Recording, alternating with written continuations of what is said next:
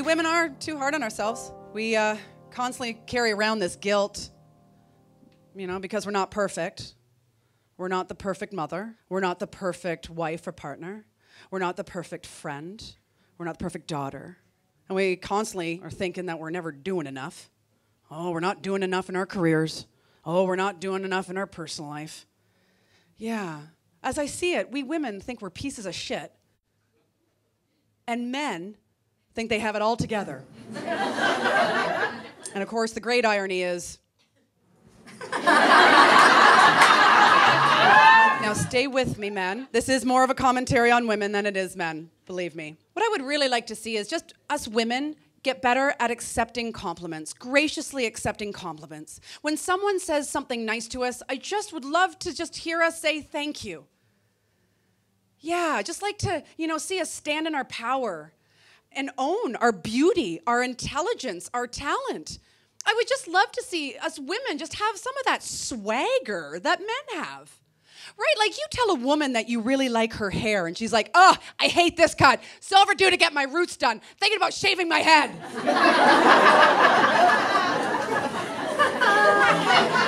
now, you tell a man that you really like his haircut, and he's like, thanks.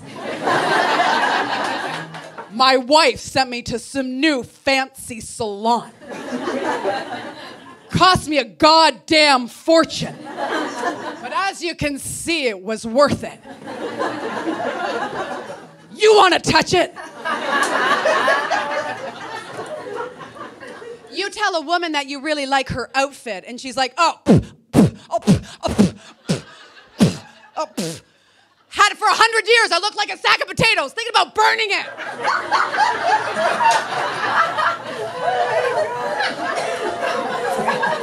you tell a man that you really like his outfit, and he's like, thanks.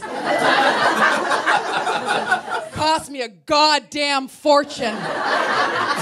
But when I saw myself in the mirror, I knew I had to have it. You want to touch it? now, you tell a woman that she's looking good, and you ask her if she's lost weight, and she's like, oh, please, I wish. working out every day, eating nothing but ice cubes, still haven't lost a goddamn pound thinking about having the surgery.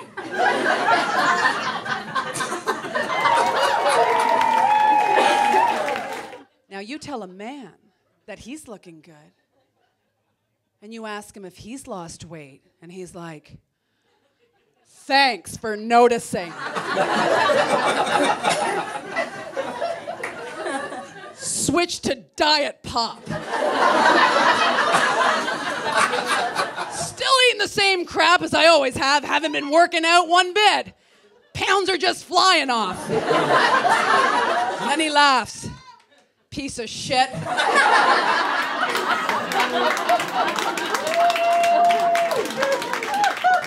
Toronto. Good night. Thank you.